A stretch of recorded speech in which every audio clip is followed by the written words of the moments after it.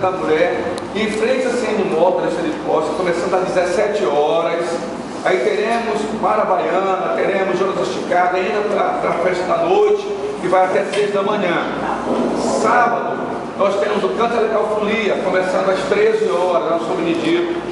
Termina às 20, às 20 horas, às 21 horas começa o Alexandre Costa. Segunda-feira, temos o encontro dos blocos lá no Acaraú, na Praça Acaraú, no Santos Dumont, começando às 13 horas.